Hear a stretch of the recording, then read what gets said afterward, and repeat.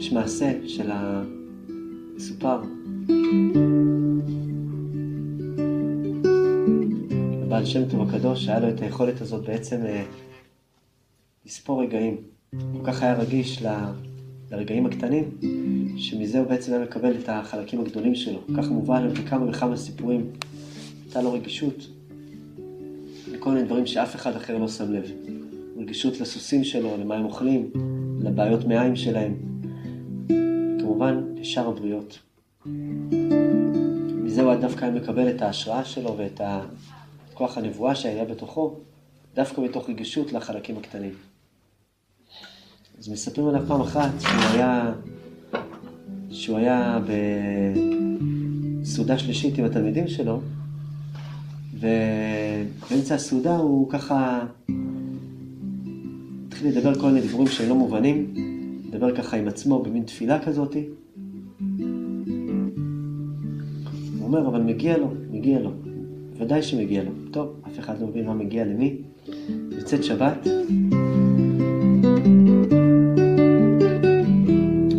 ואחרי שבת יוצאת, הוא לוקח את ה... עושה הבדלה ולוקח את הסוס שלו ואת הכרכרה, לוקח איתו עוד אה, שניים, שלושה תלמידים, והם רוכבים, יוצאים למסע, מסע של קפיצת הדרך. הסוסים מתחילים לרכב, עוברים יערות, עוברים עיירות, מגיעים לאיזה פינה אחת, הוא אומר, טוב, בואו נעשה פה תפילת ערבית. פעמים שם ערבית, פעמים ערבית, הוא מוציא בקבוק של, בקבוק של שיכר וכמה עוגיות, אומר, ויקרא שמו בישראל אברהם בן אברהם. אף אחד לא מבין מה הוא עושה הבעל שם טוב, חופר איזה גומה שם בתוך האדמה, עושה לחיים, שופך מעט מהשיכר לתוך החור הזה שהוא עשה, אמר לחיים, לחיים, רבי אברהם בן אברהם, מזל טוב, שיהיה במזל טוב. טוב, חזרו בחזרה. אמרו לו, רבנו, מה, מה זה כל הסיפור המוזר הזה? אתה מתנהג מוזר מסעודה שלישית ועד אמצע הלילה. אמר להם, או, אני אספר לכם סיפור נפלא. מעשה היה באיזה אחד, שהוא היה באמת, באמת, באמת גדול. הוא היה כל כך גדול, שכשבן אדם הוא כל כך גדול, הסכנה הכי גדולה שיש לו זה מהקטן, מהחלקים הקטנים. כן. כשבן אדם קשור לחלקים הקטנים שבו, אז כמו שכתוב, לב יודע מרת נפשו, ושמחתו לא יתערב זר. כשלב יודע את המרירות של עצמו, מכיר את החלקים הקטנים שלו, הוא מוגן. אבל כשלב מכיר את החלקים הגדולים שלו בלבד, לא סופר את החלקים הקטנים, אז הוא לא מוגן. אותו אחד היה גדול, ולא משה התורה מפיו יומם ולילה. ממש ככה. היה לו עסק משפחתי שהוא קיבל בירושה והוא היה מאוד מאוד עשיר, אשתו ניהלה את העסק, והוא בעצם לא יוצא מחדר הלימוד מהבוקר ועד הערב, לא היה חסר לו דבר. בשמיים היה קטרוג גדול עליו, איך קורה כזה דבר, הצלחה מסחרת כזאתי, מר מושלם כזה, ניסו לבחון אותו, לא נעים. מה עשו, מה עשו? הכוח המקטרג אמר, אני אביא את הקטרוג הגדול ביותר שיכול לקטרג על בן אדם בחיים, קרובת משפחה. התחפש בצורה של קרובת משפחה, באה אליהם ואומרת, מאיפה את? אני קרובת משפחה שלכם. יופי. אני יכולה לגור פה קצת? בטח, בוודאי. איזה יופי, אז מה בעלך עושה כל היום? בעלי הוא לומד תורה כל היום. מסכנה. ככה אומרים שהרחמנות זה שלב אחד לפני הביקורת. רחמנות יש עלייך. למה רחמנות? ככה את לבד בעבודה? פשש, לא חשבתי על זה האמת. אז כדאי שתחשבי על זה. הוא יושב והוגה כל היום, מציע לפחות תורה שאין עם המלאכה, שפה בטלה, לא שייך. טוב, ניסים לדבר איתו. בסוף ככה, אחרי שאשתו דיברה איתו והקרובת משפחה נחמדה דיברה איתו הרבה, ישבו עליו ככה כל הזמן, אז סיכמו איתו ששעה אחת ביום הוא יושב שם, ובאמת, היה יושב שעה ביום, וכל השעה הזאת היה אומר תהילים בחנות, וכל מי שהיה מגיע והיה נשאר לו אפילו עודף, היה נותן את זה לצדקה. קיצור, הכוח המקטרג עוד יותר התעצבן. אמר, אי אפשר עליו, הוא באמת הצליח. מה נעשה איתו? נביא לו את הקטרוג הכי גדול. בן אדם שנראה יותר צדיק ממנו. טוב, נשלח לשם איזה איש אחד, והאיש הזה סוחר בבדים, אומר לו, תקשיב, אומר לאשתו, תקשיבי, צריך מישהו שיביא בדים לחיילים יהודים שהבדים האלה הם בעצם, אה, אין בהם איסור של שעטנז, של כלאיים, בעצם של אה, בדים שהם בעצם אין בהם צמר ופשתן מעורבבים. ולכן הייתי רוצה שבעלך יעזור לנו בעניין הזה. טוב, מה צריך בשביל זה? צריך לנסוע לארבעה חודשים לעיר הזאת והזאת, ושם הוא בעצם ייתן את, ה... את הפיקוח שלו ויהיה טוב. אבל הוא לא הסכים, הוא אמר, מה זה, זה נורא? מצד שני, כולם שמעו על ההצעה הזאת וכולם ריחמו, וכולם נתנו עצות נפלאות. ואמרו לו, תקשיב, אתה לא יכול לפספס כזאת הזדמנות.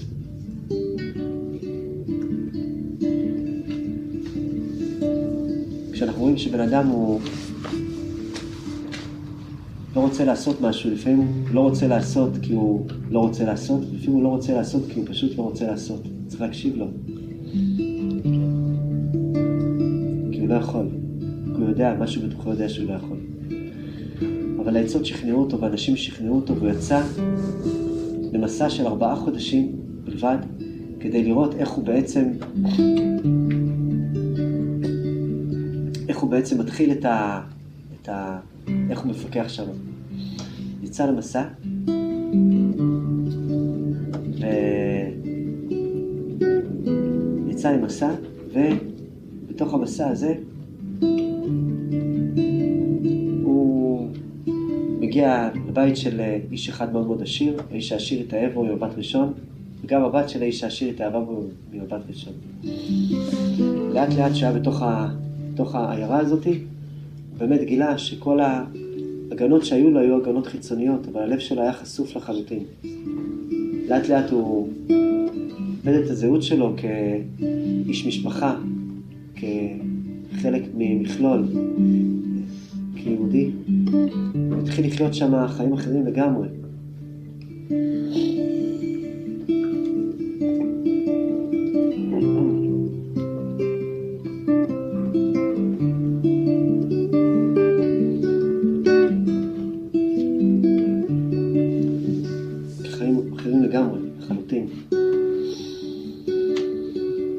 והתחיל ליצור חיים שונים לחלוטין, ככה שכל מה שהיה לו, כל מה שהוא בנה בעצם אה, נשכח לחלוטין, נשכח לגמרי. יום אחד הוא היה צריך לחשב המון המון המון דברים של העסק שלו, הוא כבר נשאר לגור שם, הוא התחתן עם הבת של אותו עשיר, אני חושב שהוא גם הביא את הילדים. בקיצור, ברדק רציני. הסתבך, כבר חי שם כמה וכמה שנים. עברו כמה וכמה שנים, והוא מתעורר ביום אחד ככה, פתאום הוא תופס את עצמו, אומר, מה התאריך של היום? מסתכל ורואה שיום כיפור היום. פתאום קולט שיום הכיפורים ונהיה לו צער נורא נורא נורא גדול. היה לו כאב לב גדול. אמר לעצמו, וואו, אני התרחקתי מעצמי. אני כל הזמן עסוק. אני אז הייתי עסוק וגם עכשיו אני עסוק. אני אני לא יכול להיות עסוק בדברים שמרחיקים אותי מעצמי. היה לו צער גדול. הוא רצה לחזור לעיירה שממנה הוא בא, אבל בצורה אחרת. אבל הוא אמר, אין לי סיכוי אחד בעולם. לאט לאט הוא נכנס למלנכוליה ודכדוך הנפש ודיכאון גדול. בקיצור,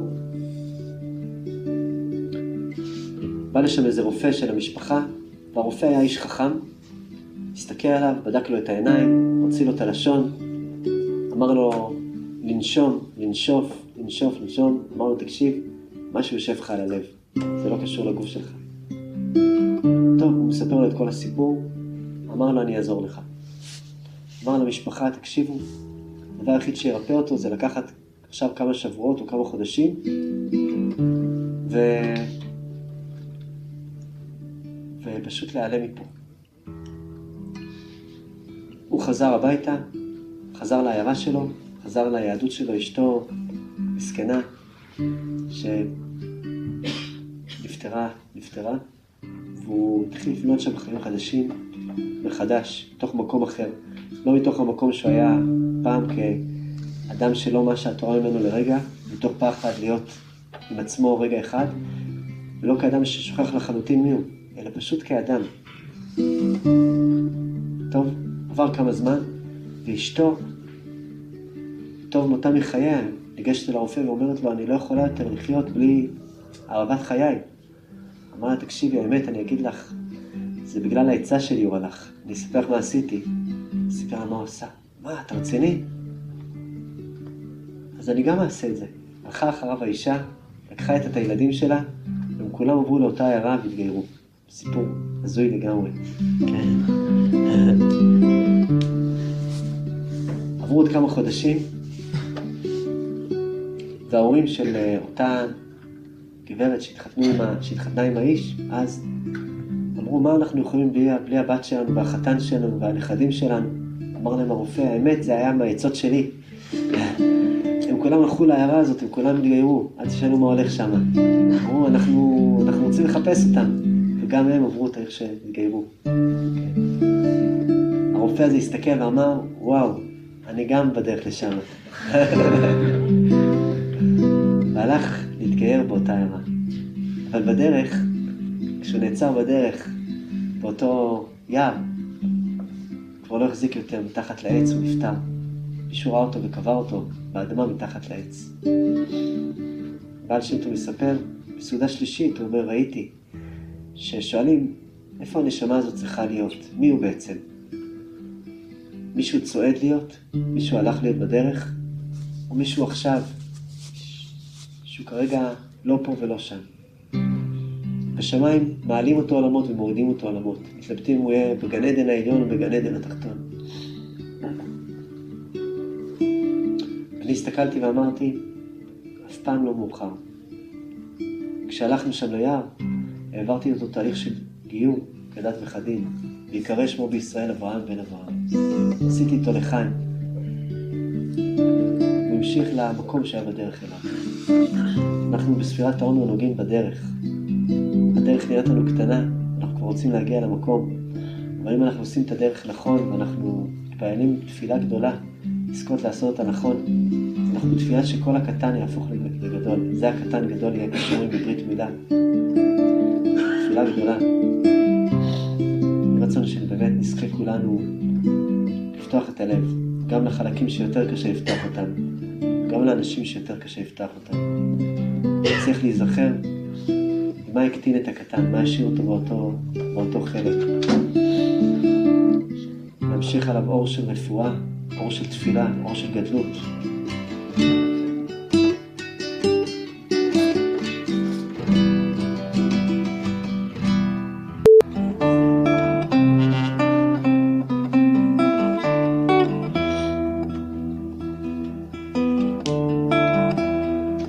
איזה סיפור, מספרים על אה,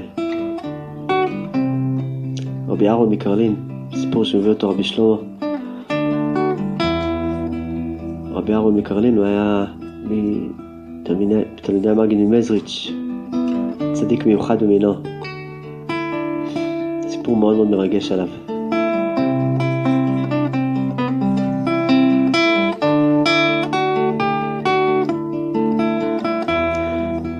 עליו שהוא היה, המנהג שלהם, של קרלין, היה להתפלל מאוחר לתפילת מנחה. מה זה מאוחר? מאוחר. יותר מאוחר ממה שאלה שמתפללים תפילת מנחה מאוחר מתפללים. הרבה יותר. יום אחד השמש עומדת לשקוע, ורבי יעקב אהרון מקרלין אומר, וואו, יש עניין להתפלל מנחה היום באיזה כפר מיוחד. מי בא איתי להתפלל מנחה שמה? טוב, אנשים ממש רוצים, מנסים ככה להסתער על הכרכרה, כרכרה אבל מחזיקה קושי ככה ארבעה אנשים, מנסים להיכנס שם עשרים אנשים. ככה נסיעה עם רבי אהרון מקרלין, מי רוצה לפספס כזה דבר? תפילת מנחה במקום מיוחד ויש עניין כזה. בקיצור, מתחילים לרכב ולרכב ולרכב, בהתחלה הם שרים, מביא איתם uh, ככה דברים לדרך, ככה טימים כאלה לאכול, ולאט לאט הלילה יותר ויותר מחשיך, הכוכבים יוצאים, חצות לילה מגיע, אומרים לו רבנו, מה יהיה עם תפילת מנחה? יש עוד זמן. יש עוד זמן. וכבר מבינים, מבינים שממש, כבר ממש ממש מאוחר, וגם היער הזה ממש ממש מפחיד.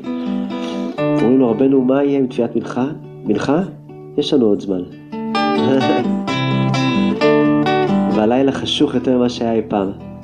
כבר מרגישים כבר בחצי השני של הלילה ועוד לא התפעלו תפילת מנחה. אחרי שחצו יערות על יערות, הם מגיעים ל... לאיזה כפר נידח, ממשיכים לרכב שם. אמצע הלילה, מגיעים לקצה הכפר, המקום הכי פרטי שבפרטי, השטח הכי אינטימי שיש. מגיעים למקום שאין שם נפש חיה, רק בקתה אחת. עוצר רבי אהרון את הכרכרה, מבקש שיעצרו, ואומר יופי, זה המקום. טוב, נפתח את הדלת של, ה... של הבקתה. יוצא לקראתם איזה איש אחד, אומר שלום עליכם. אומר לו רבי אהרון, אולי אפשר להתפלל אצלך תפילת מנחה? אמר לו, בוודאי, בוודאי. כל החלונות של הבית היו פתוחים, והרוח ככה עוברת שמה, רוח טובה, נעימה וחיה.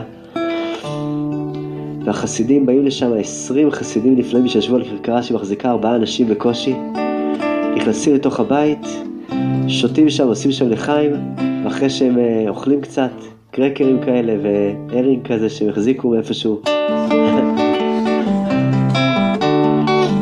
מתחילים תפילת מלכה, וזאת הייתה תפילת מלכה אחרת לגמרי. זה היה תפילת מלכה שנראית כמו מעגל החיים בכלל. כמו יום כיפור, או תפילת יום כיפור, או תפילת יום העצמאות.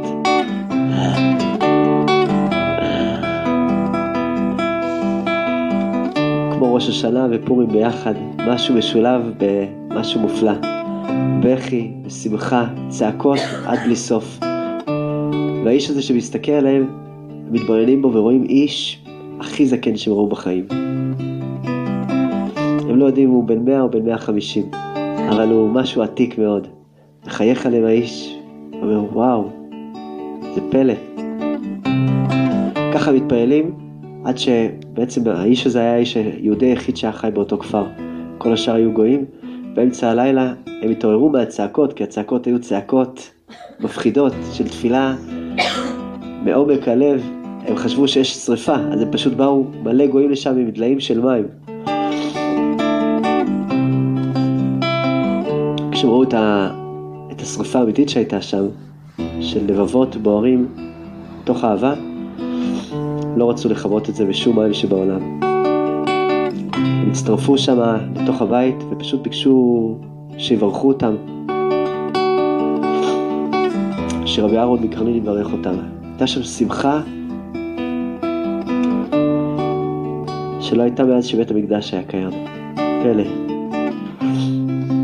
יופי, הם סיימו את התפילה, כבר דמדומי בוקר התחילו, והם סיימו תפילת מנחה. רבי אהרון מקרלין ניגש אל האיש הזקן, הכי זקן בעולם, ואמר לו, בבקשה, תספר מה שאתה רוצה לספר. אמר להם הזקן, אמר לו, שמע, היום אני בן 107, זה בדיוק היום הולדת שלי. לפני 100 שנה בדיוק. הייתי ילד בן 7. גרתי בבית הזה אצל ההורים שלי. היה אמצע הלילה והחלונות היו פתוחים. פתאום שמענו כרכרה מגיעה. והגיע לשם איזה צדיק אחד. והצדיק הזה הגיע עם uh, חבורה של uh, חסידים, גם כן, בדיוק באותה שעה, והם התפללו אצלנו תפילת מנחה. והלב שלי רעד כמו שהוא לא רעד אף פעם עד היום הזה. משהו שם נכנס לי לתוך המקום הפרטי, לתוך המקום הפרטי, לתוך הלב, המקום הפרטי שלו. אחרי שהם התפללו ככה בכזאת אהבה, אז המון המון אנשים באו לבקש מהצדיק הזה ברכה. היה מוקף בהמון המון אנשים והוא התקרב אל הכרכרה ואז הוא לרגע אחד נעצר, הלך אחורה וניגש אליי, ילד בן שבע ביישן, ששומר על החוויה הזו בתוך הלב שלו.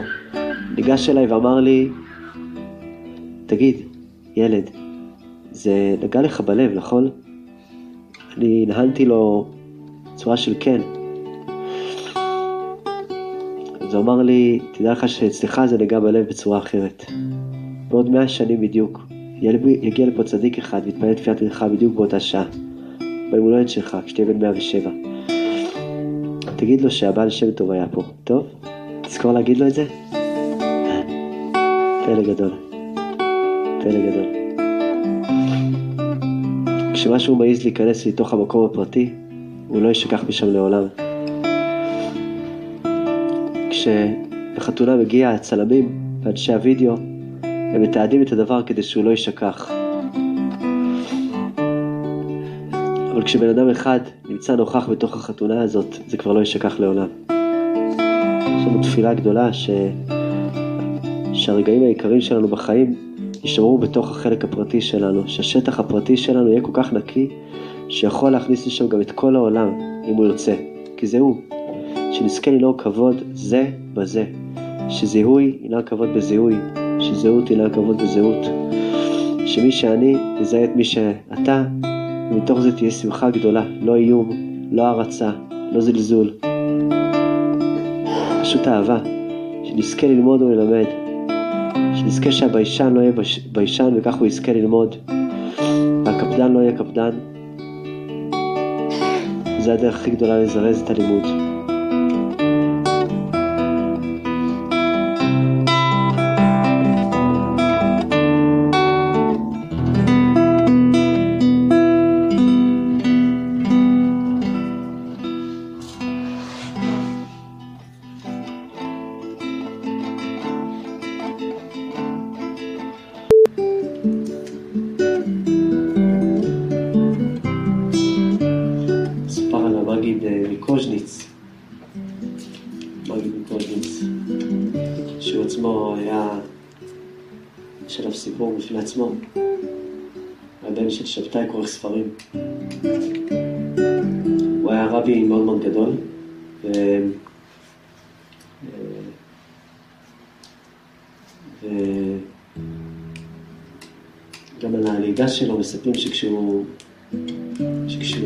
אז אה,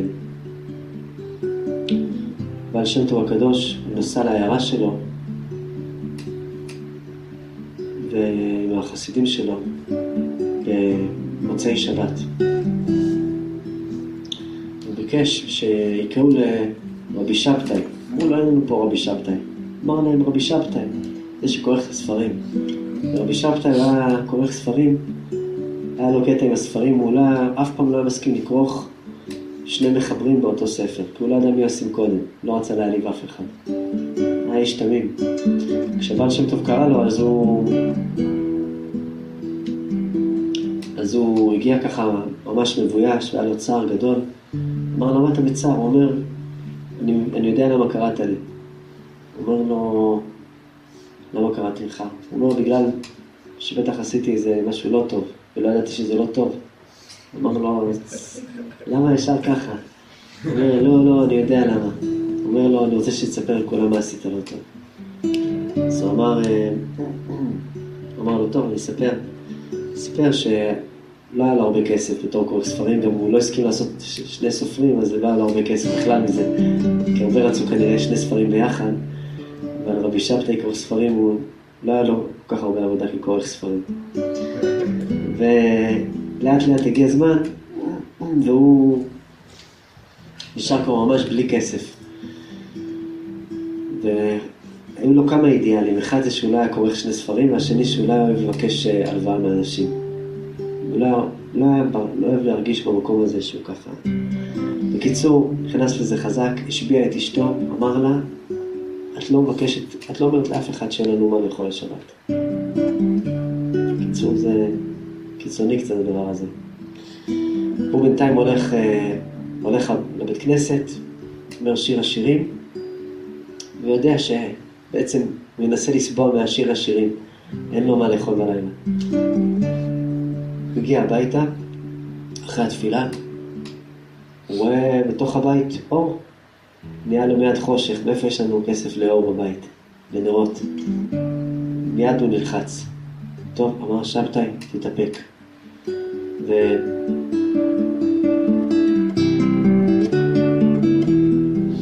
והוא מגיע,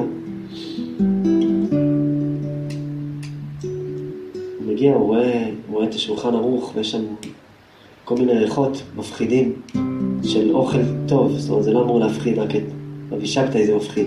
הוא אומר מאיפה אשתו השיגה את הכסף, ואז הוא אומר לעצמו, עכשיו אני מבין שהיא כנראה לא יכולה להתאפק, והיא ביקשה, ביקשה מהאנשים, אבל אמר, שבת היום, ואני ממש לא הולך להיכנס לעומס של ערב שבת, זה לא העניין שלי.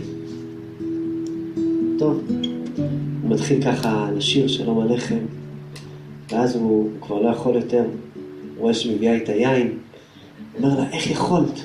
כולו דמעות, איך יכולת? הרי דיברנו על זה שאנחנו עושים ככה את השבת, ואת אמרת לי שזה בסדר מצידך. אומרת לו, תקשיב, אני, אספר לך איך יכולתי. אמרתי, טוב, אין לנו אוכל, לפחות אני אסדר קצת. עשיתי קצת סדר בבית. פתאום מצאתי איזה ז'קט אחד כזה עם כפתור מזהב שנשאר עליו. כפתור אחד שלא מכרנו. סיפור קשה. הכפתור עשוי מזהב, כן. זה לא המסר שכורך זה לא מקצוע טוב, זה לא המסר.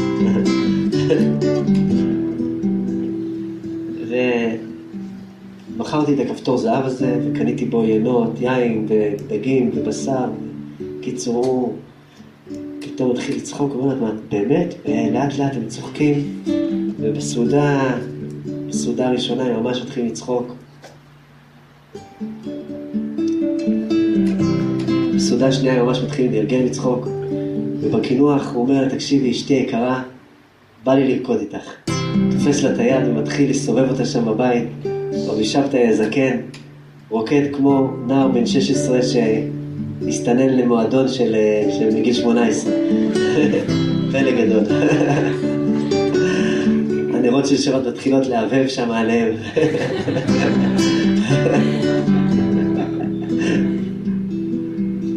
מסופר שהבעל שם טוב הקדוש, הוא, בזמן שהם צחקו, אז הוא גם כן צחק. הוא ראה את המלאכים רוקדים. הוא אמר לו, תקשיב, אני מבין שכנראה זה לא, לא הטוב איך שרקדנו. אמר לו, מה זה לא טוב? אתה יודע כמה מלאכים העפתם בשמיים? את כל המלאכים הרדומים אתם הערתם. יש כת של מלאכים רדומים משירי שבת שאנשים שרים אותם חצי בשנה, הערתם אותם לגמרי, החזרתם אותם לנערות.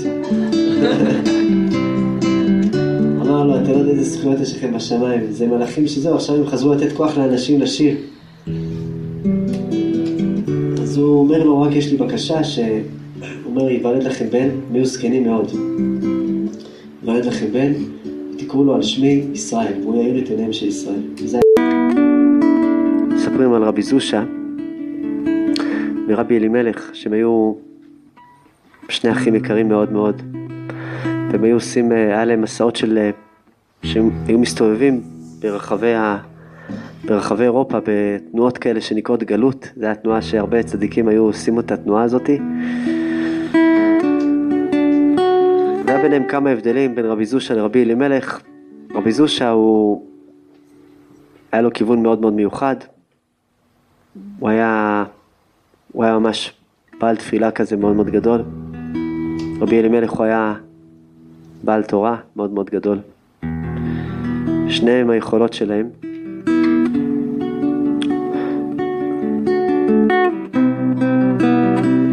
ויום אחד, יום אחד הם דיברו על אדם הראשון, אז מובא שכל אחד מבני האדם, כל אחד מאיתנו נמצא, הוא, הוא היה חלק מהגוף של אדם הראשון. ואז הם דיברו איך אדם הראשון אכל בעץ הדעת טוב ורע. רבי אלימלך אומר, האמת אני אגיד לך, אני לא הייתי שם, לא הייתי בגוף שלו כשהוא עשה את זה. אמר לו רבי זושה, פשש, וואו. רבי זושה אמר, אני הייתי באצבע שהוא כתב איתה את הפרי.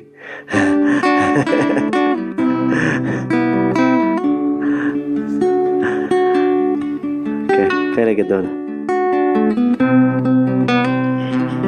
כנראה שצריך גם את זה וגם את זה. אז מספרים עליהם, על רבי זושה ורבי אלימלך, שכשהם היו בגלות, אז הם היו בעצם אה, מחופשים לשני קבצנים. ברוב המקומות שהם היו עוברים בהם, לא ממש היו מכבדים אותם, והם היו מוצאים ישנים ברחובות, כל מיני מקומות. הייתה איזו עיירה שכל פעם שהם היו מגיעים אליה, אז הם היו הולכים שם ברגל עם הבגדים שלהם המרופטים, ואחד מהעניים של הכפר, הוא היחיד שהיה רואה אותם. והיה אומר להם, בואו תשנו אצלי, מזמין אותם לישון אצלו בבית, ו... והם באמת היו ישנים אצלו כל שנה.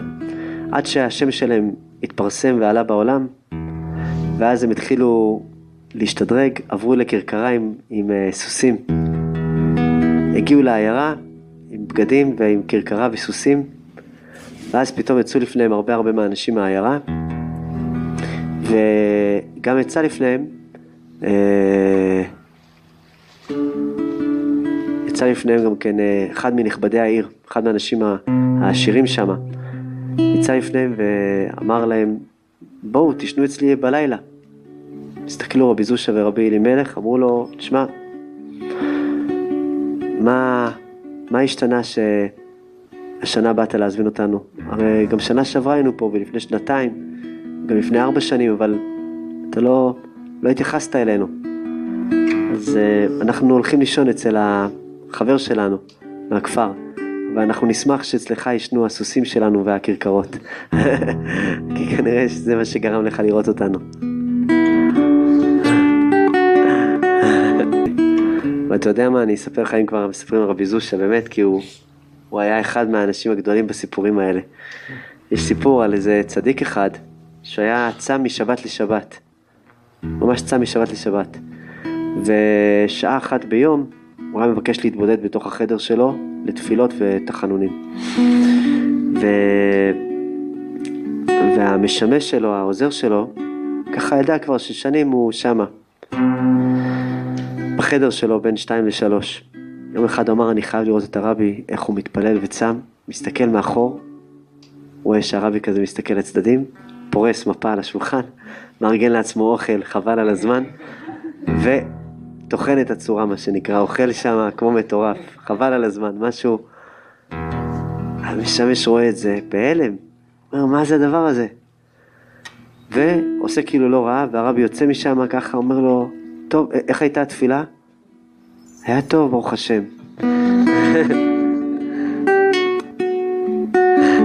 אה, היה טוב.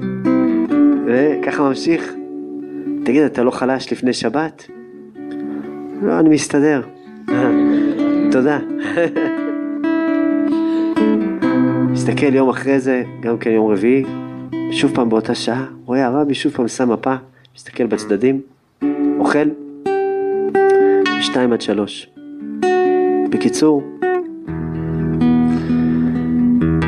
המשמש שלו כבר, העוזר שלו שם כבר לא...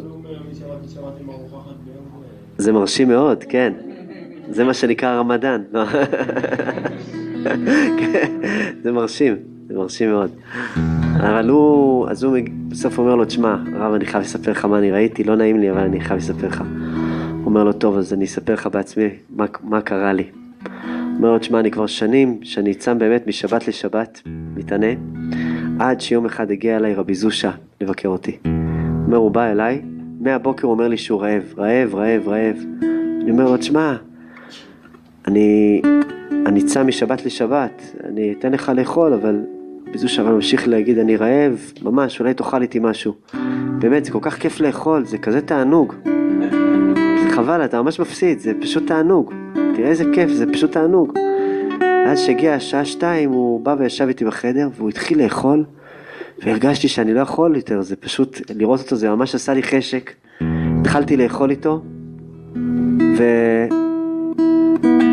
התחלתי לאכול איתו, ומאז, מאז שהוא עזב, כל פעם בשעה שתיים אני מרגיש את הרעב הזה שהיה לי איתו עם רבי זושה.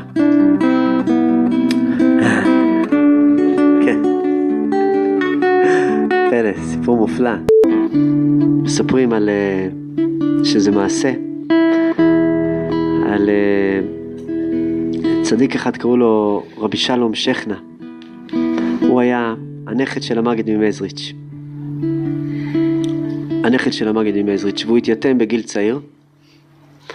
והנכד של המגד ממזריץ', מגד ממזריץ' היה התלמיד הקרוב אל הבעל שם טוב הקדוש. והבעל שם טוב, כמו שאנחנו יודעים, היה לו תורה מיוחדת, היה לו איזה עניין.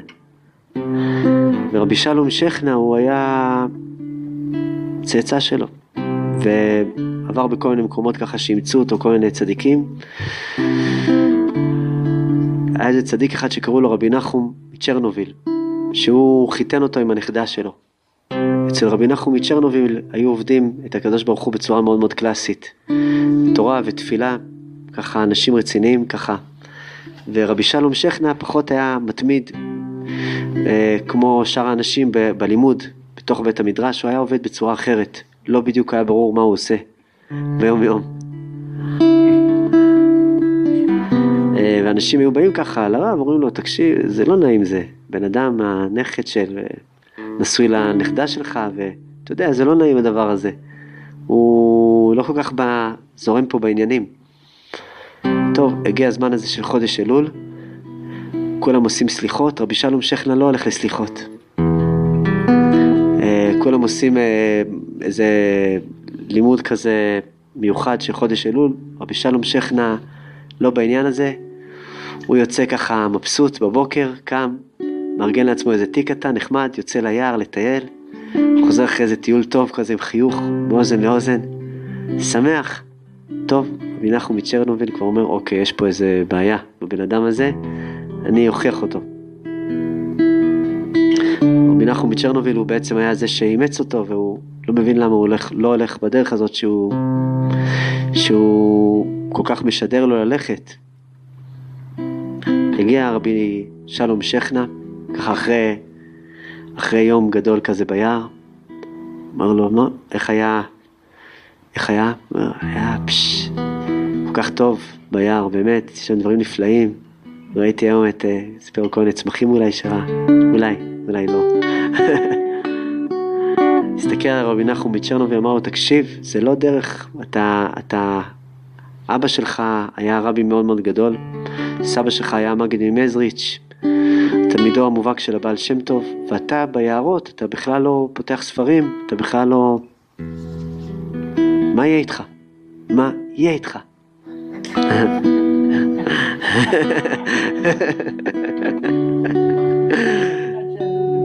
כן, איזה שאלה זאת, מה יהיה איתך? איזה שאלה מלחיצה זאתי. מה, לא יודע מה יהיה איתי. איך תדע, זה באמת שאלה מלחיצה. לא שואלים אותך. כן. כן. מה יצא ממך? כן. זה רטרואקטיבית ככה. אמר לו, תשמע, אני אגיד לך משהו.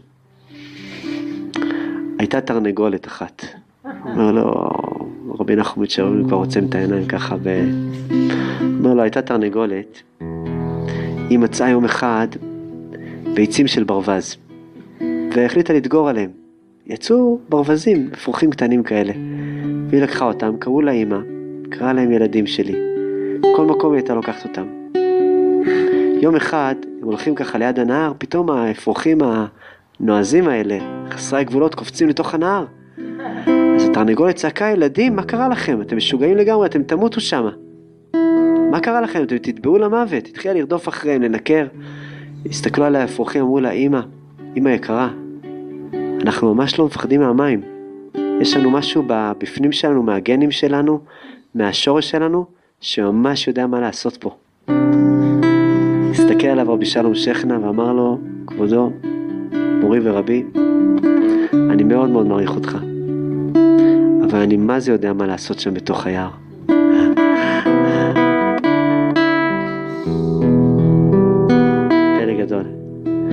רצון שנזכה לבנות את חומות ירושלים. רבי יונתן מאייפשיץ,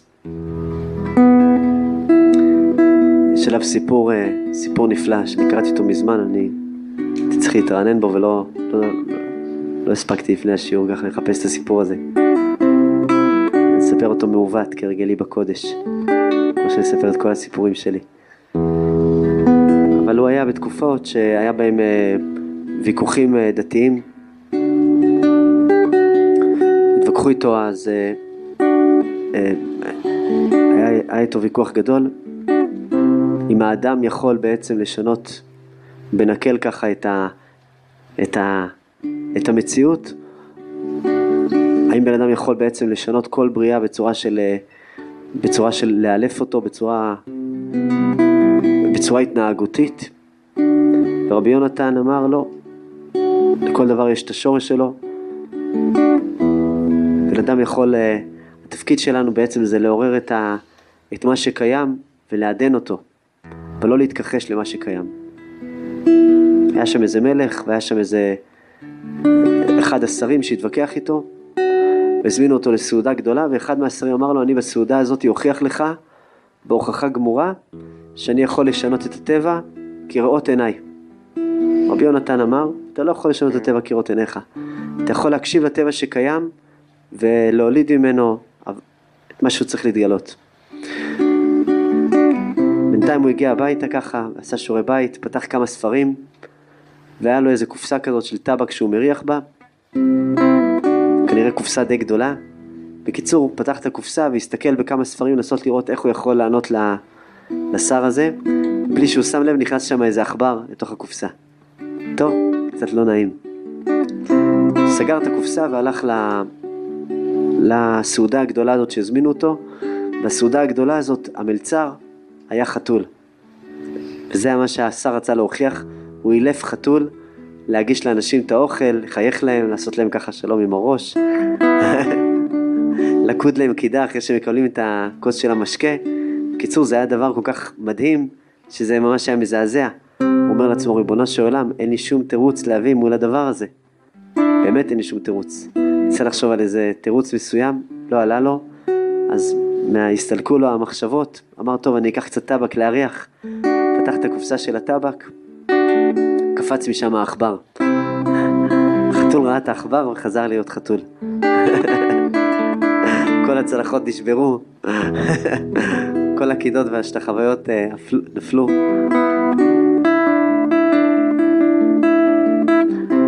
כשאנחנו בעצם מזהים שעשינו עבודה של חתול, אנחנו פתאום מתאכזבים כשאנחנו רואים שהדבר לא נרשם לנו בתוך עומק הלב. אנחנו אומרים לעצמנו, העבודה הזאת לא הייתה עבודה אמיתית. היה שם איזה שקר מסוים. באמת, לא היה שם שקר בכלל.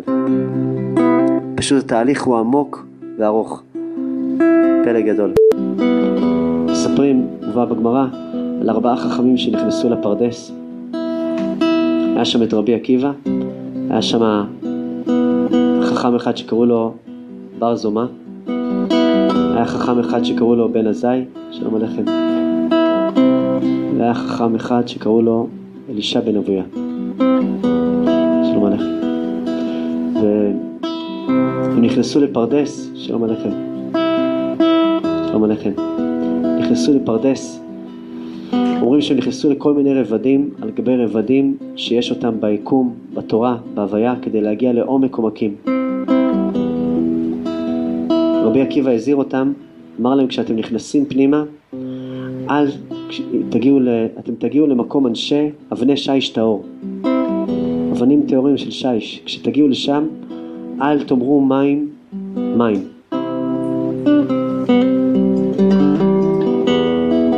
שנאמר דבר שקר לא ייכון לנגד עיניי. כך אמר להם, הזהיר אותם רבי עקיבא בכניסה למסע העמוק הזה, שנקרא להיכנס. רבי עקיבא התפלל בעצם שהם ייכנסו ויצאו. כמו שמובא בזוהר, שמי שלא מצליח להיכנס ולצאת, טוב לו שלא נברא. הם היו אמורים להיכנס כדי לפגוש את שורש האהבה. ברגע ששורש האהבה היה מתגלה, השורה הייתה מתקלקלת. מספרים שבאותה תקופה היה להם גזרה מאוד מאוד קשה. הגזרה הזאת גם הייתה מהשורה, מרומי. וכדי לקלקל את השורה, היה צריך להגיע לשורש שלה, שזה אהבה. ברגע שכוח האהבה מתגלה, השורה מתקלקלת. ואפשר לבנות שורה חדשה, טובה יותר, נאמנת יותר, חכמה יותר. אבל אם לא נגיע לעומק של, השור, של האהבה, לא נוכל לבנות שום שורה. זה רק יהיה משהו שהוא כיסוי. אז הם נכנסו ארבעת החכמים האלה, ומתוך ארבעה, רק אחד נכנס בשלום ויצא בשלום, רבי עקיבא. בן עזאי נכנס ומת. אלישע בן אבויה כפר בתורה וחתך, קיצץ את העצים של המטע הזה, כפר בתורה. זומא הוא השתגע, יצא מדעתו. יש כאלה שמפרשים שם שהם אה, פשוט קרה להם, אבל יש פירוש עמוק, שמה שהם פגשו שם זה לא הייתה הפתעה. כל אחד פגש שם את עצמו. כל אחד פגש שם את עצמו. אנשים גדולים כאלה. רבי עקיבא הזהיר אותם, כי הוא ידע שכשיפגשו את עצמם, שלא ייבהלו. אמר להם, כשאתם פוגשים את עצמכם, רק תהיו כנים, זה הכל. כשאתם פוגשים את המקום הכאוב, אל תגידו מים מים. המקום הכאוב הוא נראה כמו אבני שיש טהור, הוא נראה כמו מקום שיש לך את כל הסיבות להגיד, זה מוצדק. אבל אם תהיה כנה, אתה פשוט תגיד, זה אבני שיש טהור. זה מקומות מורכבים שהם אה, נמצאים בתוכי. ואז תוכל להגיע למקום העמוק יותר שנקרא מים מים. מספרים על אה, הצדיק רבי זושה ורבי אלימלך, מה שסיפרנו עליו רבי זושה, שהם היו שני אחים מאוד מאוד מיוחדים, והם היו מאוד מאוד מחוברים שניהם. ופעם אחת ניגש רבי אלימלך לרבי זושה ואמר לו, שמע אחי, יש לי איזה פחד אחד בחיים. אמר לו, רבי זושה, מה הפחד? אומר לו, נכון, בשבתות, שאנחנו מתלבשים ככה, שמים את הבגדי שבת, וסועדים סעודה, ואז פתאום יורד אור של שבת. אתה מכיר את זה? אומר, בטח שמכיר, זה השראת שכינה, זה תענוג גדול. אומר לו, אני מפחד שאנחנו ממציאים את זה. אומר לו, פשש, זה באמת מפחיד, זה גם פחד שלי. רק רבי זושה היה אומר, זה גם פחד של זושה, הוא היה מדבר על עצמו בגוף שלישי. זה חלק מהעניין שלו. ובאמת הם חששו מהדבר הזה, ואולי בעצם הם גורמים לעצמם להרגיש ככה, וזה בעצם לא השראת שכינה, זה עדיין כוח של אמביציה. עדיין כוח שמנסה להשיג איזו תחושה טובה. אז איך נדע? אז הם החליטו לעשות, אה, אה, לעשות תחושה של שבת באמצע השבוע. באו באמצע השבוע, כן, קמו בבוקר, לבשו את הטלית שלהם, את הבגדים שלהם, את השטריימל שלהם, ככה מיוחד, וישבו ככה עם החברים וסעדו סעודה, ובאמצע הסעודה יורד עליהם השראת שכינה. והם אומרים, אוי ואבוי. זה באמת אומר שאנחנו לא אמיתיים. יורד עלינו השראת שכינה שוב פעם. זה אומר שאנחנו ממציאים כל הזמן הזה. אבל מה לעשות, השראת שכינה, אז הם היו בתענוג גדול, ושרו עד סוף יום השבת הזה, שהיה ביום שני או שלישי, שרו שירי שבת, בתענוג נפלא. אחרי זה נפגשו שוב פעם שני האחים, אמרו, טוב, מה עושים? נלך לרבי שלנו. הלכו למזריץ', לרבי שלהם, המגיד ממזריץ', סיפרו לו את המעשה. הוא אמר להם, תשמעו, באמת, ירדה שם השראת שכינה, לא המצאתם את זה, לא דמיינתם את זה. פשוט, בכוח הזה של הבגדים שלכם והשטריימל שלכם וכל הבגדי שבת שלכם והסעודה והשירים שלכם, הייתם יכולים גם להוריד את השבת לכל יצורי דומם צומח חי מדבר שיש בבריאה, מה, מהעוצמה הזאת. לא המצאתם את זה. פלא גדול. פלא גדול. מספרים על הבעל שם טוב, שהיה עושה עבודות לא פשוטות, חלק מהעבודות הלא פשוטות שלו היה ליזום חלקי חורבן, ככה הוא ממש היה עושה. הוא היה יוזם חלקי חורבן כדי לתת לבן אדם בעצם לצאת מהאזור הנוחות שלו, אזור התפקוד שלו, ו...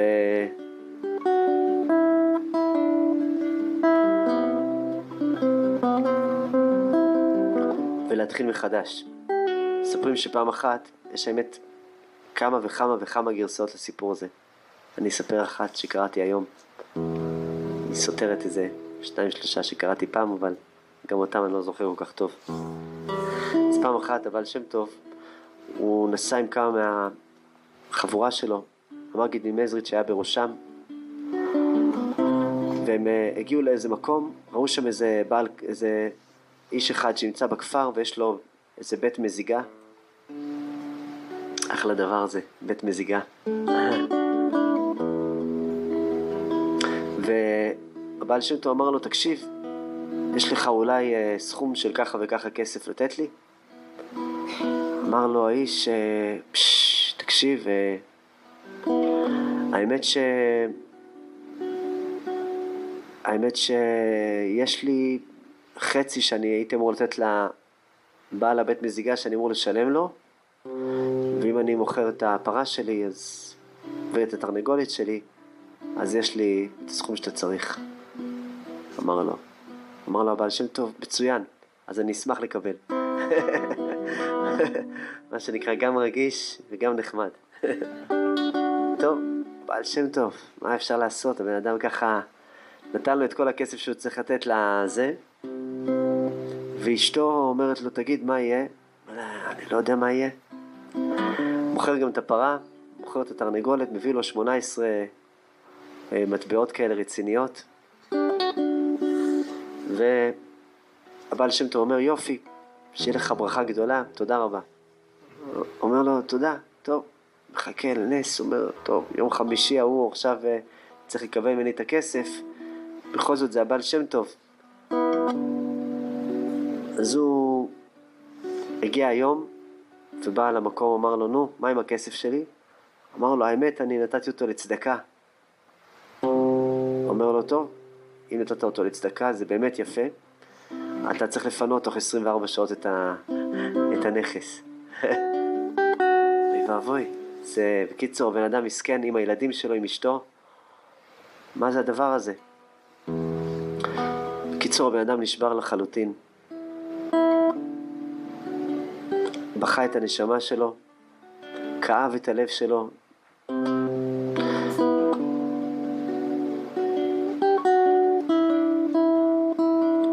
ופעם ראשונה שהוא לא אמר לאשתו יהיה בסדר. לא נתן לה את הביטחון הזה. כשהם אה, חיפשו שם את עצמם בין הדרכים, אז הם אה, ככה איכשהו הצליחו מקום לישון בו למצוא בקושי. הוא מצא לעצמו כמה פרוטות, ו...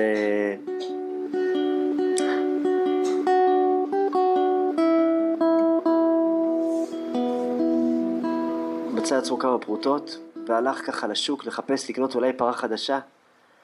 חיפש לו איזה פרה, אבל uh, הפרות עולות בערך פי ארבע או חמש מהכסף שיש לו. אין לו מה לעשות. בסוף הוא רואה שם איזה מישהו מוכר איזה פרה שנראית שעוד שנייה היא שווקת. הוא אומר לו, טוב, אני אעשה לך מחיר, אני אתן לך את הסכום הזה. אומר לו, אבל זה לא נראה לי שפרה תחזיק. אומר לו, תשמע, יש לה דופק. אה, תראה, היא נראית בסדר. אני לא יודע, היא מחזיקה ככה כבר הרבה מאוד זמן. זה רק נראה שהיא כאילו גוססת, אבל היא... צריך לדחוף אותה בעליות, ו... ובבוקר צריך ככה קצת ל... להעביר לה מים ככה סביב העיניים כדי להוריד לה את. יש לה הרבה צהוב כזה. זה פרה עם רחמנות. אתה תעשה לה גמילות חסדים, אולי תעשה לך גם כן גמילות חסדים, תוציא פעם בכמה עם איזה כוסית חלב. טוב. הוא לוקח אותה, אומר, טוב, השם יעזור. איזה דבר זה. מגיע הביתה, אשתו מסתכלת, אומרת, זה מה שקנית. טוב, זה באמת כואב הלב. אבל, טוב, הפרה הוציאה, התחילה להוציא אבל חלב. התחילה דווקא להוציא הרבה יותר חלב ממה שהם חשבו. לא המון, אבל יותר. בכל זאת, הם חשבו שהיא תוציא הרבה פחות ממה שהיא הוציאה. בינתיים, פרה באמת הייתה נראית חולה מאוד, ולא במצב טוב. אז uh, הגיע ככה, פתאום איזה מישהו דפק שם בדלת, והאיש היה היה איזה פריץ אחד, דפק שם בדלת, אמר לו לבעל המקום, אמר לו, תקשיב, אולי תיתן לי, אני צריך לשתות משהו, יש לך איזה חלב? אמר לו, יש משהו. לקח, היא לא הצליחה להוציא כוס חלב, הוציא רבע כוס, אז הוא נתן לו רבע כוס חלב, שלושה רבעי מים, אמר לו, קח. והוא מסתכל מפוחד. הוא אומר, הוא מסתכל על הפריץ איך הוא הולך לשתות, ההוא לוקח שלוק, העיניים שלו נפתחות, נעצמות, הוא מפחד שהוא הולך למות מהחלב הזה, ולא יודע מה יש בחלב הזה. מגרגר אותו, לוקח עוד שלוק, אומר לו, תגיד, מה זה חלב זה? אומר לו, אה, זה חלב. כן. אומר לו, תשמע, זה מדהים. זה החלב הכי טעים שטעמתי בחיים שלי. זה בכלל אין איזה טעם של חלב, שזה טעם של פשוט משקה מדהים. הוא אומר לו, תקשיב, בוא, בוא נעשה איתך עסקה, קודם כל תן לי עוד איזה כוסית, אומר לו, יהיה מוכן רק עוד שעתיים. אין לי עוד כוסית עכשיו. הוא אומר לו, למה? אומר, הרבה אנשים היו פה, זה... הוא אומר לו, בוא נעשה עסק. אתה רק שומר לי את החלב הזה, אני כל יום אבוא ואני אקנה אצלך. אמר לו, בסדר, אבל אולי תיתן לי קצת מראש תשלום, כי לא היה לו במה להאכיל את הפרה גם כן, כדי שהיא תוציא חלב. בקיצור, הוא נתן לו מראש תשלום. בינתיים הבן אדם, הפריץ נהיה מכור לחלב של הבן אדם הזה. היה פשוט יושב אצלו, בא אליו כל יום, שלוש-ארבע פעמים, רק לשתות מהחלב, והוא היה מוהל לו את זה בעשירית כוסית ותשע עשיריות מים, ואיכשהו זה יצא מזה דבר מופלא. הפריץ הזה אמר לו, תקשיב, אתה בן אדם מיוחד, אני רוצה שאתה תעבוד אצלי. התחיל לעבוד אצלו ולאט לאט אה, הפך להיות ממש המשנה לאותו פריץ. אותו פריץ הוריש לו את כל, ה, את כל הרכוש שלו כשהוא הזדקן. אחרי כמה וכמה שנים, בעל שם טוב אמר למגיד ממזריץ', בבקשה אם אתה מגיע דרך הכפר, תראה מה שלום החבר שלנו. זה שרוששתי אותו לגמרי. הרסתי לו שם את החיים. אני יודע שהיה לך עליי ככה, אמר גם למגיד ממזריץ'. אז הוא מגיע, רואה את הרב של הכפר מתלבש, אומר לו, לאיפה אתה הולך? אומר, לבקר את אדון הכפר. אומר לו, בוא תבקר אותו, הוא יאהב אותך. קיצור, אדון הכפר, אה, המגיד ממזריץ' פוגש את אדון הכפר, אדון הכפר אומר לו, אתה מזהה אותי? אומר לו, לא, לא מזהה אותך. אומר לו, אני אותו בן אדם שנתתי לכם 18 רובל אז. אומר, זה לך שהבעל שם טוב עם ה-18 רובל האלה, הרס לי את החיים. הרס לי את החיים. אבל מה? הוא בנה לי חיים חדשים. הרבה יותר טובים. פלא גדול. פלא גדול. הבעל שם טוב ידע לעשות את זה בצורה יזומה. הפחד, במיוחד הפחד, לעזוב את הישן, בעיקר את הדפוסים של הישן.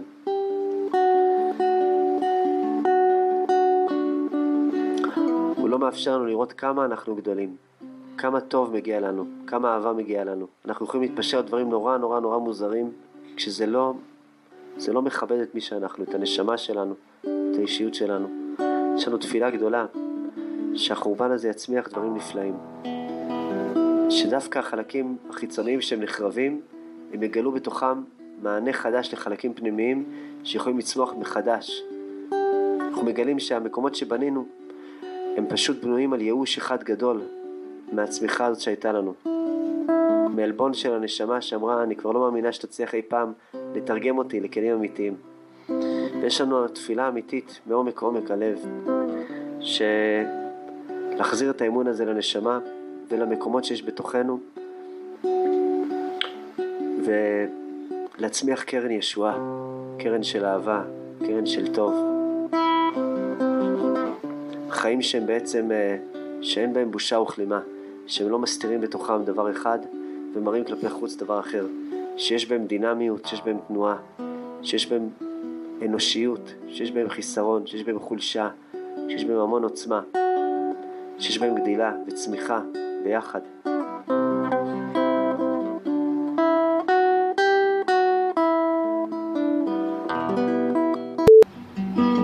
יש סיפור אה, מאוד מאוד קשה על הבעל שם טוב, אחד מהסיפורים החזקים, שפעם אחת הגיע לבעל שם טוב איזה מישהו עובר דרך הבית, דופק אצלו בדלת, הבעל שם טוב כנראה בדיוק היה פנוי, פותח את הדלת, אומר לו האיש, תשמע, רק רציתי להגיד שלום. מחייך לו הבעל שם טוב, אומר, איזה יופי. אז הוא אומר לו, כן. אה, הוא אומר לו, אתה לא צריך כלום? הוא אומר, האמת לא, לא צריך כלום. אני בלי עין הרע, בן אדם מאוד עשיר. כל הבנות שלי התחתנו, הבנים שלי התחתנו, גם בן אדם מאוד בריא. וגם אשתי בריאה, והכל טוב אצלנו. אבל אמרתי, בוא נוסיף על ההוספה, בוא נוסיף טוב על טוב ונגיד לך שלום. אומר לו יופי, אז אמרת לי שלום, כל הכבוד. אומר לו, ואתה יודע מה, אם כבר הגעת, פש, שלום עליכם. אם כבר הגעת, אני אספר לך סיפור, אתה יודע שלא נצא בלי כלום. אז הוא אמר לו, סיפור זה טוב, תמיד טוב לשמוע סיפור. אז הבעל שם טוב אומר לו, תשמע, פעם אחת היו, אה, היו שני חברים בלב ובנפש, והם היו ככה... שני חברים האלה היו, אהבו אחד את השני אהבה גדולה מאוד, גדלו אחד ב, ביחד עם השני, וכל אחד מהם נהיה גם כן אה, מאוד מאוד עשיר. זה יצא לדרכו בעיר פלונית, וזה יצא לדרכו בעיר פלונית, ו... וכל אחד מהם מתפרנס מאוד מאוד יפה. סיפור שסיפרתי פה פעם, אבל סיפור באמת יפה, וגם בטח אני אשנה אותו קצת, כי שכחתי חלקים ממנו. לא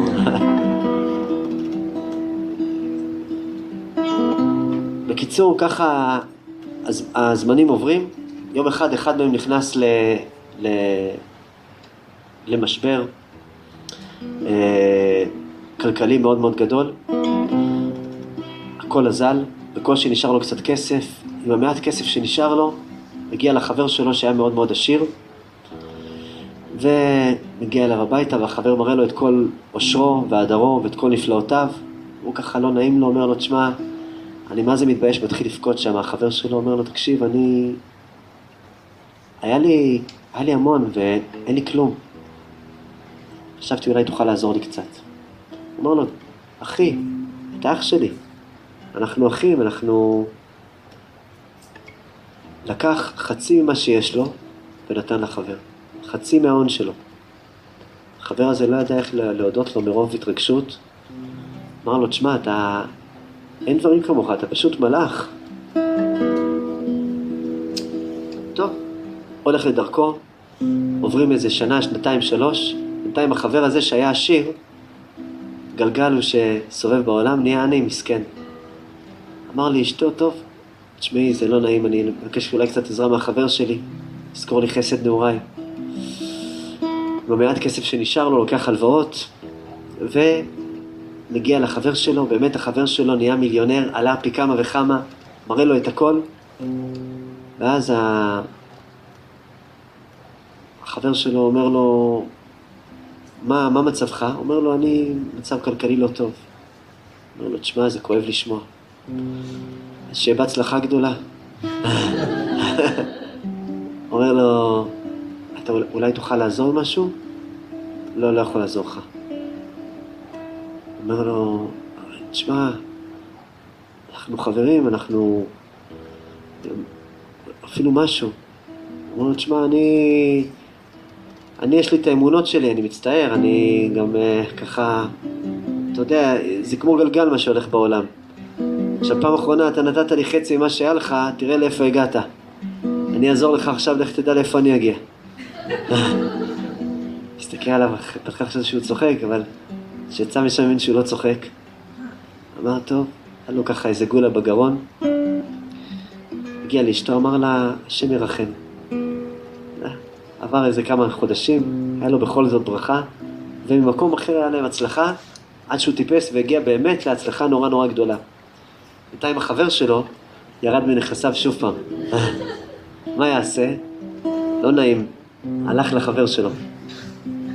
הוא אומר לו, תקשיב אחי, אני סולח לך בלב שלם ובנפש חפצה. אז הוא אומר לו,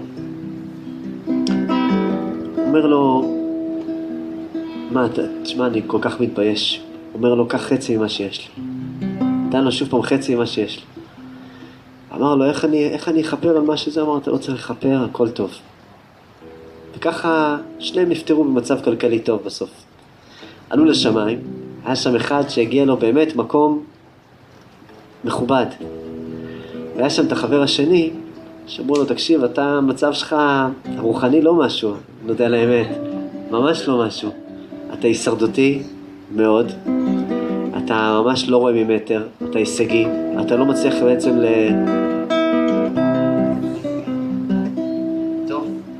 היה שם צער גדול, הכניסו אותו למקום הלא סימפטי בעניין הזה של העולמות.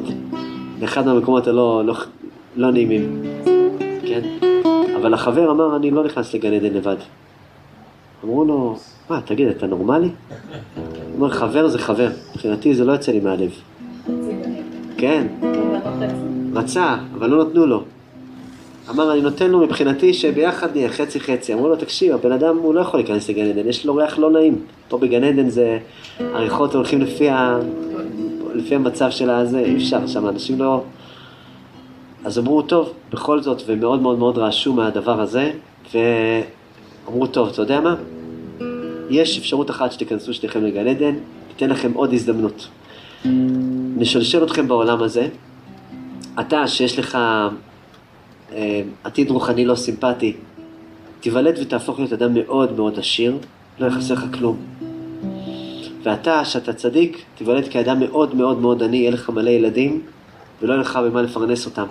יום אחד אתה תגיע למדרגות של הבית של העשיר ותבקש ממנו אוכל, אם הוא ייתן לך לאכול, אז אה, אם הוא ייתן לך צדקה, אז יהיה לו את ההזדמנות לתת לך.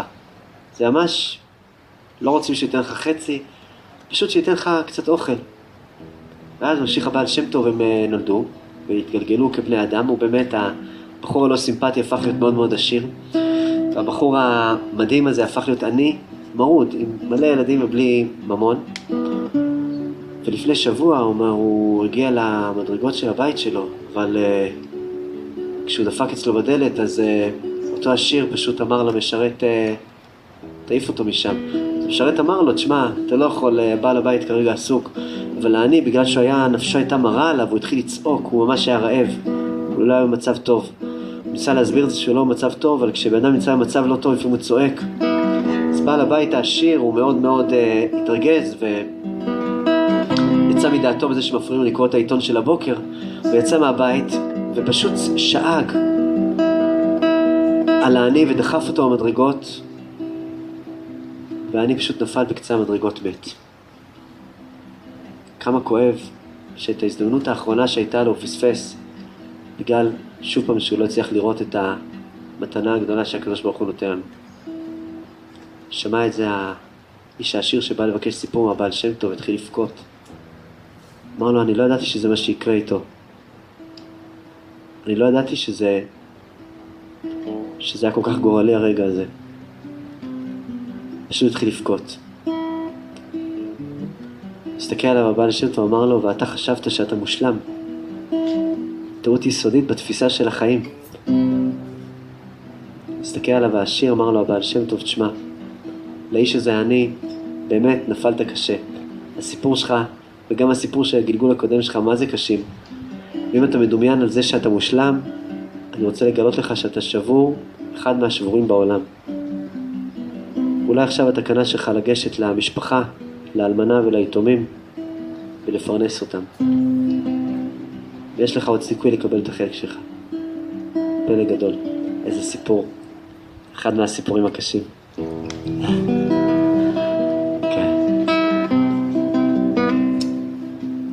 כמובן שכשאנחנו בטוחים שאנחנו שלמים, אנחנו בוודאי טועים. זה אחד מהסימנים לדעת שאנחנו שבורים, זה כשאנחנו בטוחים שאנחנו שלמים. ועוד שאנחנו מוסיפים את זה שכל העולם שבור חוץ מאיתנו. כן. מספרים על הרבי מרוז'ין, שהגיעו אליו אה, חסידים, היו מתפללים אצלו, בימים נוראים. והרבי מרוז'ין כשהוא היה מתפלל, הוא היה מתפלל, אבל לא תמיד הוא היה מתפלל בזמן. היה מגיע מנחה, הוא היה מסתכל, עוצם עיניים, אומר, אה, עוד לא יכול להתפלל, אין מצב. טוב, עובר עוד איזה רבע שעה, עשרים דקות, חצי שעה, שעה, אה, עוד לא. זה מתקרב אבל. הלילה כבר נכנס, שעה בתוך הלילה, שעתיים בתוך הלילה, שלוש שעות בתוך הלילה, ארבע שעות בתוך הלילה, הוא קם, אומר, אשרי יושבי ביתך עוד ילולוך הסלע. זהו, זה הגיע, זה הגיע, זה הזמן. מתפלל מנחה. טוב, חסידים מסתכלים ואומרים, פשש, נעשה גם אנחנו. מתחילים להתפלל איתו גם כן מאוחר. כשבאו להיפרד ממנו אחרי יום הכיפורים, בירך אותם, אמר להם, תקשיבו, יש לי רק דבר אחד לבקש מכם. תתפללו בזמן, תעשו לי טובה. זה ממש חשוב. אמרו לו, אבל רבנו, אנחנו פה נמצאים איתך שבועיים, שלושה שבועות, אף תפילה לא התפללת בזמן. כמה פעמים שהתפללת שחרית, ממש לקראת אה, צאת הכוכבים ומנחה, לקראת זריחה. אמר להם, אני זה שונה. אני אספר לכם סיפור. היה איזה זוג שהיו חיים ביחד, גם התחתנו. ו... והיא תמיד הייתה מכינה לו אה, כל יום, ממש באותה שעה, איזה תבשיל קטניות. פשוט קצת קטניות מבושלות, משהו בעצם אה, די דלוח, אפילו בלי מלח. והוא היה אוכל את הקטניות והיה שמח בהן, קבוע באותה שעה בדיוק. כל פעם היא מביאה לו את התבשיל, וכל פעם הוא לוקח איתו את המזלג ואת הסכין, ואוכל ושבע ומודה לה ושמח. יום אחד היא התעכבה, אשתו, ואיחרה בשעתיים, ואז הוא מחכה, והיא מביאה לו תבשיל קטניות. הסתכל, אמר לה, וואי, האמת, אני אגיד לך, חשבתי שזה שהתעכבת, אז uh, שיהיה איזה משהו יותר כזה, כזה מעניין, יצירתי כזה. אמר להם את זה הרבי מרוז'ין, אמר להם, לכן אני, אנחנו, לכן אתם לא יכולים להתפעל מאוחר. כי עד שאתם מתפעלים כבר, וזה יכול לגרום לאכזבה.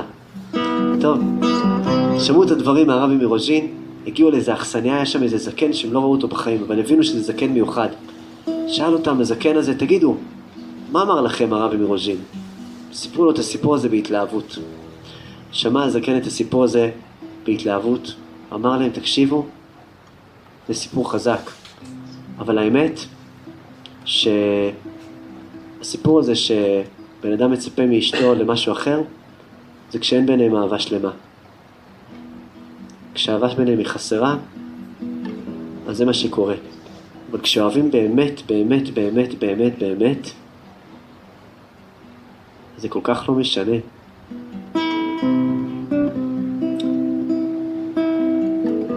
שמעו את זה מהזקן, את התורה שלו, וחזרו בחזרה לרוז'ין לספר אותה לרבי מרוז'ין.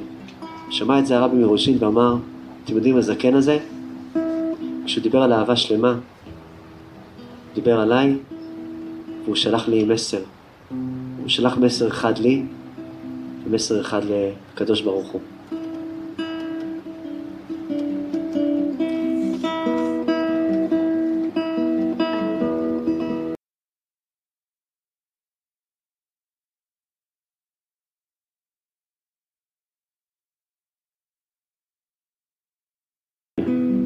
מעשה שככה... אה, הזכרתי בו ככה לפני השיעור, אשתי סיפרה לי אותו, הזכירה לי אותו. על הרבי אחד שקראו לו רבי משה אלשיך, הוא היה גר בצפת בזמן הארי הקדוש, מספרים עליו שהיה ראש הדרשנים של אותה תקופה. והוא היה איש צדיק מאוד מאוד מיוחד. כל לילה הוא היה קם בחצות הלילה, אה, בוכה על חורבן ירושלים, הולך לחדר הקטן שלו ויושב ולומד עד הבוקר. יש אנשים כאלה, פלא גדול. טוב שיש משמרות בעולם הזה. עכשיו, אימא שלו היא הייתה מכוונת ככה את השעון הביולוגי שלה כנראה, לא יודע מאז שעונים ממש עם הצלצלים.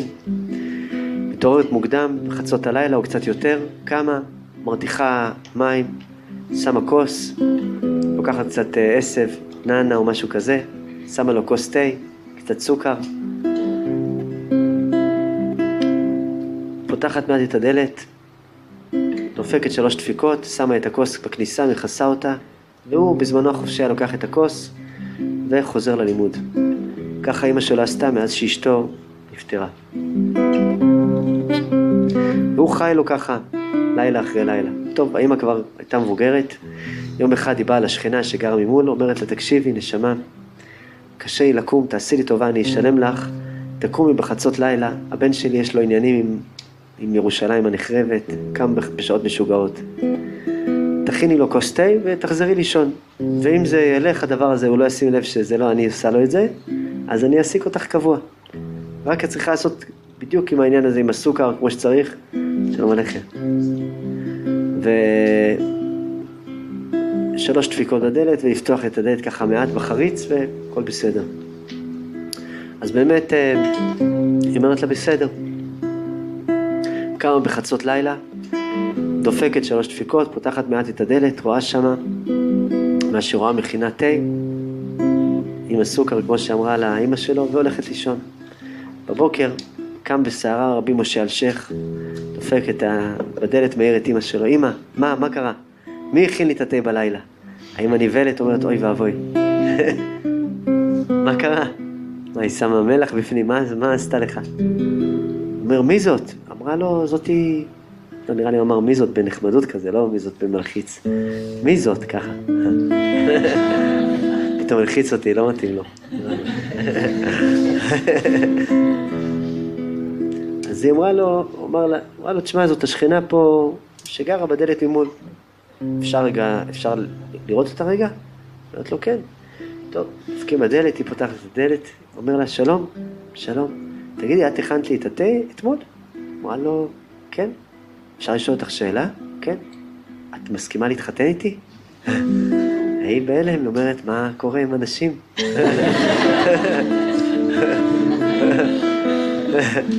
היה תה מוצלח, אבל לא ככה... האמא גם הייתה קצת בהלם. היא ככה מגמגמת לגמרי. אומר לה, תגידי לי, למה הכנתי שתי כוסות תה? אומרת לו, הכנתי לך ולאיש הנחמד שלמד איתך. אומרת, תדעי לך שגם אשתי הראשונה וגם אימא שלי, כל לילה שהיו מכינות לי בחצות לילה תה, לא היו רואות את אליהו הנביא שבא לילה בלילה ולומד איתי תורה. פלא גדול. פלא גדול. איזה סיפור מופלא. אה, זה היה קריטי, המשפט האחרון היה קריטי. ש, שגם אשתו הראשונה וגם אימא שלו לא, לא היו, היו מכינות לו, מכינות לו כוס תה אחת, כי היו רואים אותו לומד לבד, לא היו רואים שאליהו הנביא מצטרף אליו ללימוד. והיא הייתה מכינה לו שתי כוסות. פלא גדול. הוא הבין שיש לה עיניים אחרות. פלא גדול. בחור שנא עיניך, וראה. יש לנו תפילה לעיניים כאלה ש... שרואות את המעבר שלנו, שרואות את הטוב שלנו, שרואות גם את הקרקע שלנו, שרואות איפה אנחנו מונחים, שמצליחות להוציא אותנו מתוך מחולות קטנים ויכולות לעורר את המחול הגדול, את המחילה הגדולה שמתוארת ביום הכיפורים. שזו תפילה לעורר בעצם זיווגים עליונים ששייכים לכל אחד ואחת מאיתנו. זיווגים שהם הכי הכי הכי קשורים לקרקע, ליום יום, הכי לא מעופפים, הכי לא בגובה, הכי לא בשמיים, כי קרוב אלינו הדבר מאוד. רצון שכל אחד ואחת מאיתנו יזכה למצוא את כל החיבורים שהקדוש ברוך הוא רוצה שנתחבר אליהם.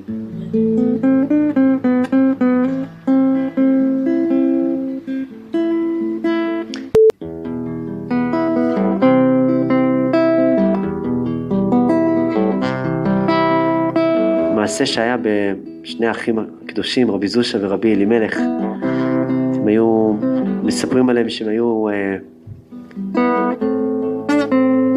מסתובבים בכל מיני מקומות ככה ב, אה, בעולם.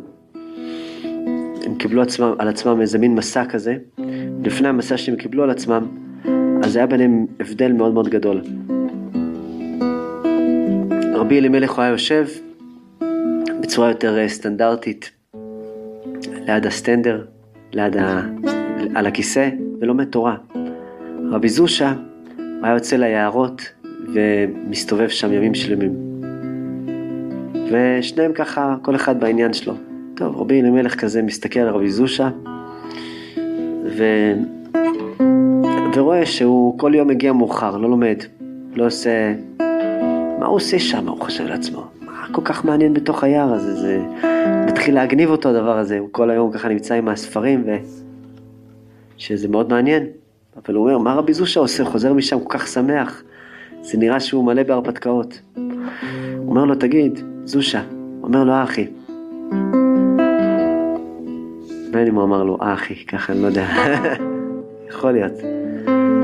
מה אתה עושה שם כל הזמן? אומר לו, מה, מה זה קשור אליך? הוא אומר, אה, זה נראה לי מעניין. לא, זה לא מעניין. נו, תספר. הוא אומר לו, אני אספר לך, אספר לך מעשה. לו, היה איזה בן כפר אחד, שהייתה לו עבודה, הייתה לו פרנסה, אבל דבר אחד היה לו שלא, היה, היה לו רצון שהוא לא, לא זכה לממש אותו, הוא נורא נורא נורא נורא נורא רצה לראות את המלך. ו...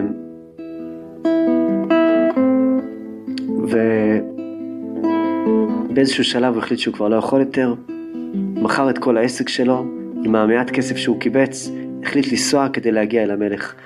עבר ממקומות עבודה לעבודה עד שכילה את כל הכסף שלו והגיע לארמון של המלך, אבל אי אפשר להיכנס לארמון, כי אתה לא יכול פשוט להיכנס לארמון, יש ארמון ושערים. אז הוא ניסה למצוא איזה עבודה, לעבוד אצל המלך. הוא שיחד את אחד מהאנשים, ואמרו לו, אתה יודע מה? אם אתה ככה משחד אותנו, נארגן לך איזה עבודה, עבודה רצינית מאוד. מה? אתה תהיה המסיק פחמים של החדר של המלך. אתה תוכל לדאוג לו שיהיה לו חם, או פחות חם, או יותר חם. והוא שילם הרבה כסף כדי להיות המסיק פחמים בחדר של המלך. הוא קדח אה, איזה קדח כזה בקיר, שלום עליכם. קדח איזה קדח כזה בקיר, וכל פעם שהמלך מגיע לסלון, הוא, הוא ככה מחמם את ה... שם את העצים בתנור, והוא מדי פעם, כל הזמן מציץ עם העין שלו ככה בתוך, ה, בתוך הקיר, ומדי פעם המלך כזה עובר דרך המקום של החור, והוא מתחיל למחוא כפיים, להיכנס לאורות מעצמו. הוא אומר, הנה הוא, הנה הוא, אה, איזה יופי. הבן אדם באורות מראות את המלך. בקיצור, הוא גם יודע שהמלך אה, חם לו, קר לו, אז הוא מוריד את העצים, מוסיף עצים. בקיצור, זה מה שהוא מתעסק כל היום, העין שלו דחופה בתוך החור הזה, ו... ומזה הוא בעצם אה, חי, מזה הוא חי נפשית, הוא מוחא כפיים, הוא צוהל.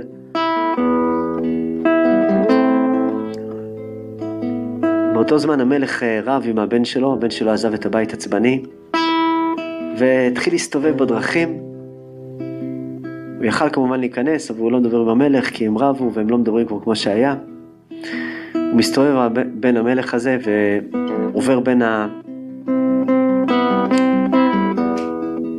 בין החדרים של הזה, פתאום הוא רואה שם איזה בן אדם שמכופף והראש שלו דבוק בתוך הקיר והוא מוחא כפיים ומתחיל לרקוד, מסתכל שם, רואה כל מיני דברים, בן אדם באורות מעצמו, הוא אומר, מה קורה עם הבן אדם הזה? הוא, יש לו, מה, מה הוא אכל, כמו, ש...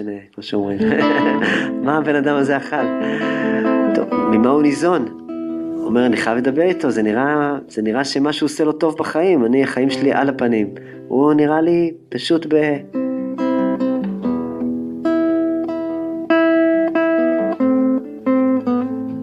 אז הוא ניגש אל הבן אדם הזה, ההוא ככה מכופף עד שהוא הצליח ככה להשיא את דעתו, אומר לו, תגיד, מה, מה יש לך שם? אומר לו, אה, אתה הבן של המלך. אומר לו, כן. אז מה? אז הוא אומר, אז מה אתם, מה אכפת לך ממה שאני עושה? אני כולי פה עם חור, מנסה לראות פעם בכמה דקות. אולי המלך יעבור פה, וכשאני רואה אותו, מקודם הוא זרק את הגלימה שלו, עשיתי מזה, פתחתי פה לחיים, זה היה רגע מכונן. אומר לו, אבל אתה יכול להיכנס פנימה לחדר עצמו, אתה יכול לדבר עם אבא שלך, המלך, מה אתה צריך אותי? אמר לו רבי זושה לרבי אלימלך, תשמע אחי, עזוב אותך, אני כולי קודח חור בתוך המציאות, מדי פעם אני רואה איזה רגע של... אה, שהלב נפתח שם, אני רואה לרגע אחד את המלך. אתה נמצא, אתה, יש לך יכולות אחרות, אתה נמצא כל היום עם הספרים שלך שם, אתה כל הזמן מדבר עם המלך. מה אתה צריך אותי? רבי זוש היה לו את היכולת הזאת, את המתנה המדהימה הזאת, להפריד. הוא היה יכול להגיד, אח שלי הוא הרבה יותר, ואני בעצם בגלל זה צריך להצטרף למסע שלו. או להיות כמוהו. או לא רק אח שלי, אלא מן הסתם כל העיירה שם, שכולם היו, ישבו על השולחנות ולמדו. אבל הוא גם יכל לגלות את האישיות המדהימה והמיוחדת שהבורא נתן לו. כמובן שכשרבי אלימלך שמע את הסיפור הזה, אמר לו, אחי, סיפור מדהים. לא שכנעת אותי.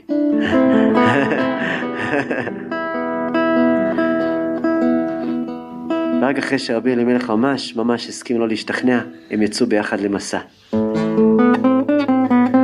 כן, פלא גדול.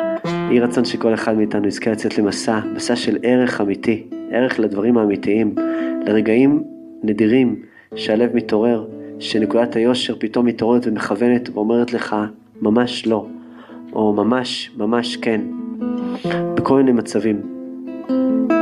רצון שקדוש ברוך הוא באמת יפתח לנו את, ה, את חוסר הפשרה הזאת על לא להסכים להיות בעצם עם לב ישן. לא להסכים להיות עם לב, לב של אבן, אלא לבקש באמת בכל תחומי החיים שלנו לב בשר. כי לב בשר בעצם הוא מתפקד רק כשאנחנו נותנים לו את האמון שיש בפנים משהו אמיתי.